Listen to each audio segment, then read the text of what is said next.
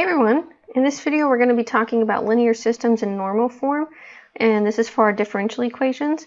This is going to carry over with things we've seen before in our linear algebra studies and also our introduction um, into this chapter earlier on a few videos back. So a system of n linear differential equations is called um, or considered in normal form if it looks like this. We have x prime which is a function of t times or equals a times x plus f of t. And so A in this case is going to look like this matrix. And then F you can think of as a, a, vector of functions. X is also a vector of functions of t. And then if you have a homogeneous system of equations, then this is gone over here. This is just plus zero. And if it's a non-homogeneous system, then this is going to equal something. And so recall, we talked about this previously, that you can rewrite an nth order linear differential equation. So in general, it would look like this. And you can rewrite it as a first order system of linear differential equations in normal form if you start using this substitution. So you can say, well, my function y, we can call that x sub 1, and then y prime, we can call that x sub 2, y double prime, we can call that x sub 3, and so on all the way up to the um, n minus n minus one derivative, and we'll call that our variable or unknown x sub n. And so you're basically taking a nth order differential equation and writing it as a system of first order differential equations. And so an initial value problem for the normal system just involves finding the vector functions that satisfy the system and the initial conditions. And here's a note about linear independence and dependence. So if we have m vector functions, x sub 1, x sub 2, and so on, if c1 times x1 plus c2 times x2 and so on equals 0, where c1 and all the way to cm are not all 0, and the determinant of a is 0, then these vector functions are linearly dependent. We've talked about linear dependence and independence before, um, but just letting you know a reminder here, if you can write um, a linear combination of your vector functions that equals zero, where not every term is zero, and also the determinant of A is not zero, or is zero, excuse me, then linear dependence is the case. Otherwise, the vector functions are linearly independent and the determinant of the matrix A is not zero. Okay, so let's try out our first example here. We're just going to rewrite our given equation as a first order system in normal form and then express the system in matrix form x prime equals ax plus f. So notice what we're given, a second order differential equation. We want to write it as a system of equations of first order differential equations. So this is where you uh, rewrite your variables and you pick some unknowns. So I'm going to say x1 is y, and then x2 is y prime. And this will get us up to what we need. We only need to go to the n minus 1 derivative. So because this is a second order uh, differential equation, we only need to um, delegate unknowns or variables to up to the first derivative. Quick note, uh, just for example, let's say this was a 10th order differential equation, we would want to define variables up to the ninth derivative. Okay, so now we just replace. We have x2 prime is now y double prime, and then x2 is replacing y prime, then x1 is y. Okay, so now what we want to do is we want to solve for our first derivative. So we have x2 prime, and we solved for that. I just took off the t's, but the x's are functions of t's. And then we know from our substitution over here that x2 equals y prime, but we could say that that equals um, x1 prime, so the first derivative of x1. And then that lets us write our system of uh, linear equations, differential equations, as first order equations. So we have x2 prime equals something, and then x1 prime equals something. Now let's write it in matrix form. So x prime equals ax plus f. And so we just have the vector containing x1 and x2 primes. And then our coefficient matrix, this is A. Here's our vector x. And then our terms over here, we do have these term, this one term um, that doesn't contain any x's. And so this is like our non-homogeneous term. And so if you just want to verify real quick, let's just go with x2. So x2 prime equals 10 times x1 plus 3 times x2 plus sine of t, which is this equation right here. All right, so that's us rewriting our um, second order differential equation as a system of first order equations and then putting it in our matrix form. Now we're going to be doing some examples with showing um, in linear independence. And so let's show that the vector functions x1, x2, and x3 are linearly independent. So we have these three vectors given to us, and then notice what I did, I just factored out a common factor in each one. So x1, I factored out e to the 2t, x2, same thing, and then x3, we just factor out e to the t. Okay, so we have our coefficient matrix that we can form uh, using the coefficients on these vector functions. So notice column 1, 1, 0, 1 comes from x1, the coefficients on e to the 2t, and so on for x2 and x3. And then we want to verify what the determinant is. So we have the determinant of this coefficient matrix. And do your um, cofactor expansion down any row or column. And we end up with some number other than 0, which is good. So then we could say that since the determinant of A is not 0, the vector functions are linearly independent. Okay, so just real quick, um, I went, I did my cofactor expansion down column 1. All right, now let's review a little bit. We've talked about the Wronskian before, but we're going to use it again here. And it just has a slightly different notation now. So the Wronskian of n vector functions, each having n components, looks like this. So remember from before, the Wronskian is the determinant of a matrix.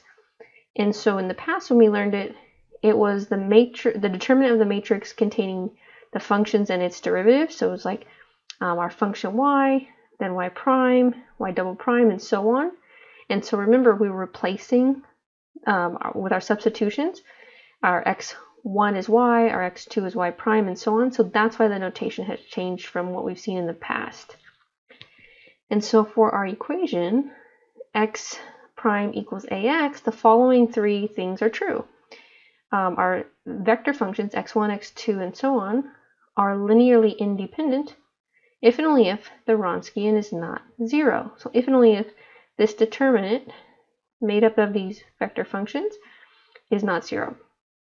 And then the set of vectors is considered a fundamental solution set.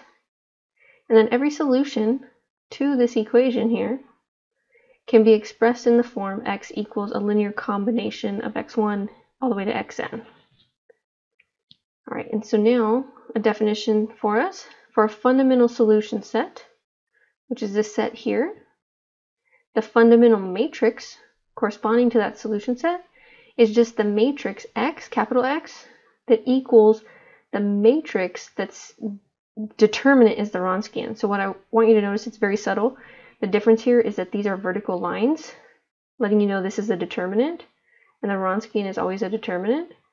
And over here it's brackets, because this is a matrix. Okay, so that's the only difference. The fundamental matrix, the determinant of it is this Wronskian.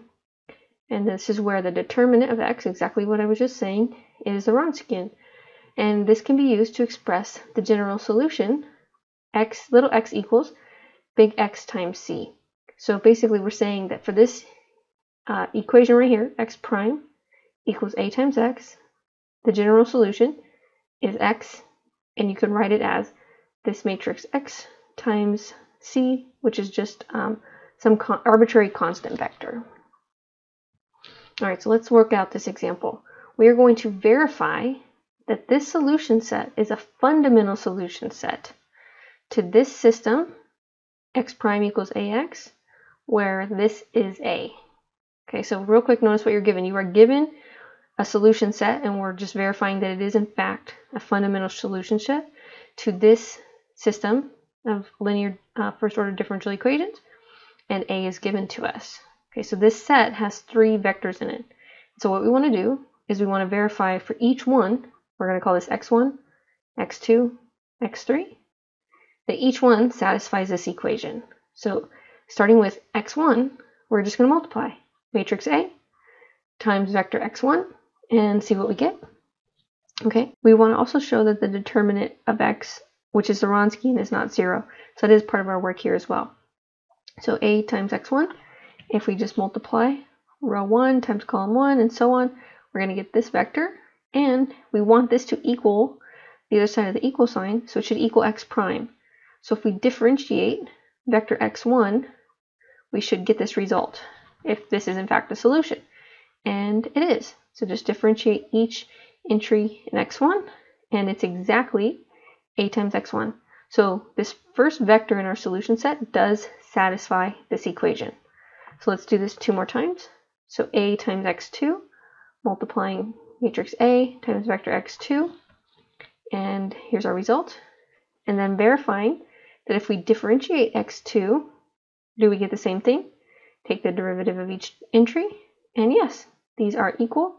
So x2 prime equals a times x2, which satisfies our equation. One more time, doing this with x3. So a times vector x3, that equals this vector here. And now we want to verify that if we differentiate x3, we get the same result. And if we differentiate each entry, yes, these are equal. So each of the vectors in our solution set satisfy the equation x prime equals a times x. But we do want to show one more thing. We want to show uh, that the Wronskian is not zero. Okay, so we're going to compute this determinant.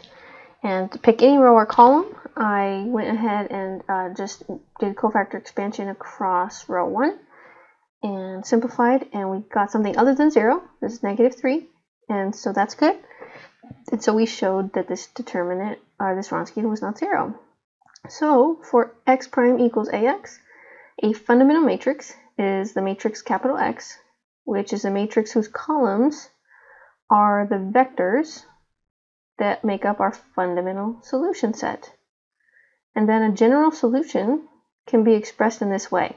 Little x equals capital X times c, which is capital X, which is our uh, vectors that make up the columns of x, times these arbitrary constants, c1, c2, and c3.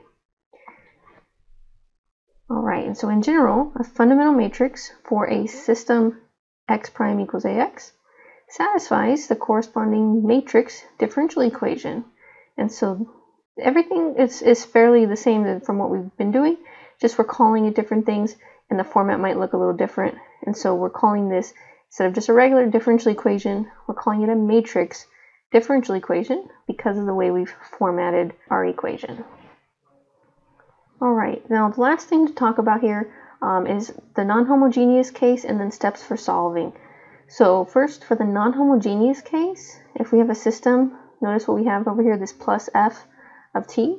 So x prime equals ax, or a of t times x of t plus f of t. Every solution can be written in the following format. Notice the only difference from our homogeneous case is this extra term, which is, um, or extra function, x sub p. So this is where x sub p is a particular solution. And our solution set here, containing our vectors x1 to xn, is still a fundamental solution set for the corresponding homogeneous system. So we still use the same fundamental solution set, and we just add this particular solution into the format of our general solution right here. And so this general solution can also be written as the following x equals xp, the particular solution, plus our fundamental matrix x times c. And so where x is the fundamental matrix for the homogeneous system, and then c is an arbitrary constant vector. Exactly what we just did on the last example as far as how we wrote our general solution. The difference with the non-homogeneous case is that we would just add in xp, x of p, right there. And so just the last thing to note here is some steps for solving our normal system. In this section, we are focused on formatting it and linear independence and dependence. Um, so here's just steps if you were to have to solve it. A lot of times, though, um, especially in this section, you're just verifying that a solution set is in fact a fundamental solution set. So if it's a homogeneous system, then you're going to find a fundamental solution set that consists of n linearly independent solutions. And then your solution here would be if you form the linear combination, x equals capital X times c, which is just this linear combination right here. For the non-homogeneous system, notice it's the plus f part, then you find your particular solution, and then you add that in to your general solution. Okay, so that's it for this one. Thanks for watching.